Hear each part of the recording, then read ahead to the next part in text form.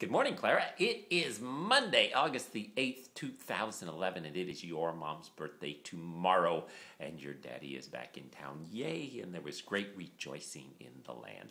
Anyways, I've been telling you about the animals in the Philippines. Well, animals and insects and whatever. Anything that isn't a plant. Uh, because I already told you about the plants. And I told you about the big spiders last time we talked. Uh, we also had a snake in the Philippines called the Philippine cobra. And the Philippine cobra was poisonous enough that if it bit you, you would die in a few minutes. and just for good measure, the Philippine cobra had the ability to spit at you, and if it got in your eyes, it could blind you.